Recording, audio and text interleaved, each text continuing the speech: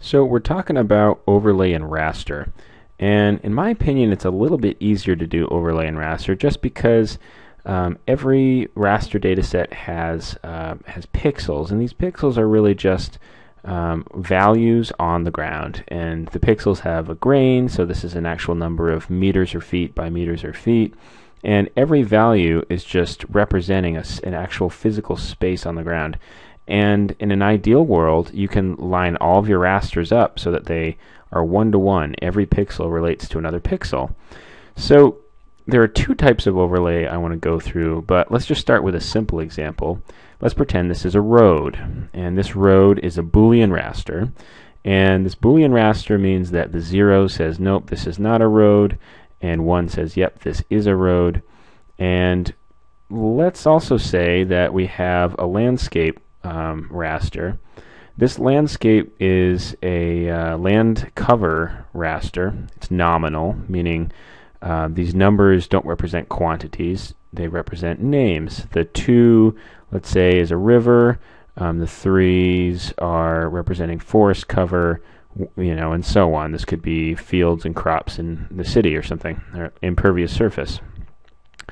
And our mini analysis in this kind of overgeneralized model would be let's see where um, what types of pixels um, land cover pixels is our road going to pass through? Maybe I'm planning and I, I want to know how many miles of road are going to go through forest how many miles of road are going to go through field that kind of thing. So in a product raster I want only the information where it's both a road and land cover. So I want to see only the land cover that's that um, the road kind of intersects. Um, well, the command here isn't intersect like it is in um, in the vector data model, but it is in kind of an and statement, which means that we're looking for this and that only where both are true.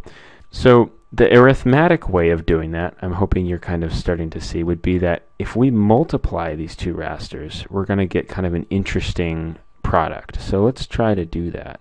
If I multiply them, I end up with this type of thing, right? If I look up here and I'm like, okay, so I just multiplied them and I got this, which is looks like what I want. It looks like the road um, and the land cover raster being represented here. But what does it really mean?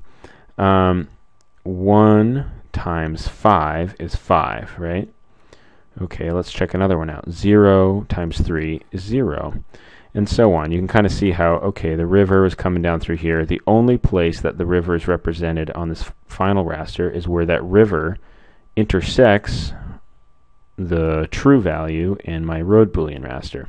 So multiplication is kind of a is a fun one because um, the one acts as uh, as you know it, says are you here? And then the return value says well yeah one times anything is itself so I am here. And the zero kind of blotches out anything that you don't want. So multiplying with boolean rasters is kind of like doing an and statement. But it isn't always as simple as that. Um, sometimes we want to not just know uh, yes or no uh, what is you know, what are the spots that are true in both locations. But we might want to actually know what is the best spot out of all of these locations. And so that type of overlay is a little different. Let's just say that we have um, this piece of criteria right here. We got criterion 1, criterion 2, and criterion 3. And in this case, they're all binary rasters. Let's just pretend, for instance, that we've uh, reclassified a, a, land cover raster, and these are all grass or cropland or something, but we, we, we deem it good for building. You know, it's not a marsh, it's not the woods.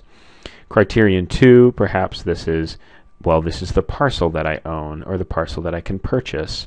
In criterion 3, perhaps this is a reclassified slope raster where um, one represents all of the places that have buildable slope. It's not too steep, right?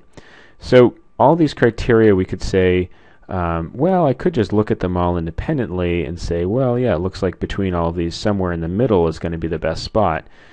But if this was a huge region and you had 20 other pieces of criteria, it's going to be more difficult, more and more difficult for you to just look at all the pieces individually. So that's why kind of scoring these rasters, um, either as binaries like that or ordinal rasters, can make it a lot easier to, to kind of find the, the optimal suitability more quickly. And what I'll say is that here we've used just binary. Zero is bad, one is good. You could very easily translate these all to kind of ordinal rasters. And what I mean by that is you're you're scoring them. You know, you might score zero is bad, five is okay, ten is really good um, on a ten point scale, or maybe zero to a hundred. And um, the problem is it's it, it's extremely subjective. So anytime you score something, it's really good to have a reason you did that, right? Point is, um, this is in this simple example, we're just going to use binaries because that's uh, easy to understand at first. In this case, I would just add these together because I don't want to multiply them. I'm interested not just in all of the places they intersect, but I want to know where do they intersect the most? Uh, where do they intersect the most often? And in order to do that, I'm going to add them together. So hit say add, and then if I add them, I'm going to get this kind of pretty looking thing down here where it says, aha, they actually combine in different ways, and it looks like there's one spot that's probably really great because it's flat, I own it, and it's on, um, you know, easy building ground. So two ways of doing overlay and raster.